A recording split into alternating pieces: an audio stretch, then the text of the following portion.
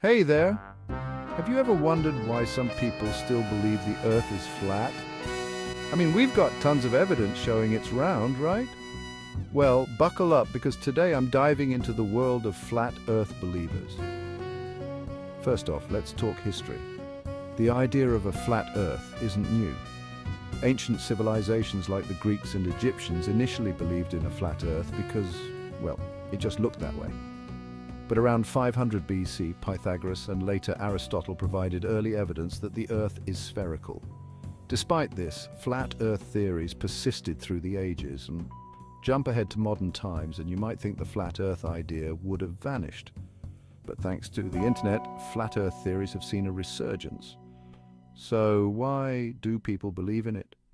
One reason is cognitive bias. Our brains love patterns and simplicity, and the flat Earth model offers a straightforward explanation that seems to fit what we observe. When you look around, the Earth looks flat, right? Plus, there's the appeal of being part of a knowledgeable group that's in on a secret. Another reason is distrust in authorities. Some folks are skeptical of mainstream science and government institutions. They feel lied to or manipulated, and the flat earth theory feeds into that distrust.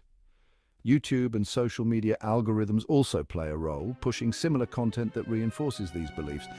Now, let's tackle some common flat earth arguments.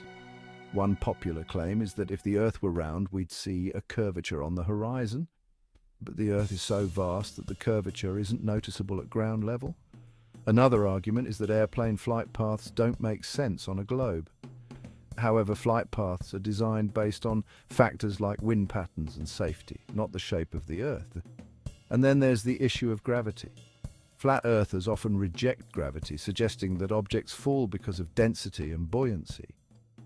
But without gravity, there'd be no force pulling objects down in the first place.